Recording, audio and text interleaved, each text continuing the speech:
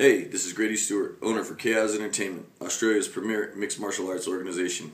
On July 27th, we're bringing you another action packed card. We've got six world title and three national titles all happening in one night. We've got a special guest too. It's going to be here in Perth, Rashad Evans. He's going to be live in attendance, hanging out and signing autographs with all you guys that are showing up. If you guys want to get down, it's happening at the Kingsway Sports Complex in Madeley. Get onto the website and check it out www.k-ozentertainment.com.au. We'll see you there.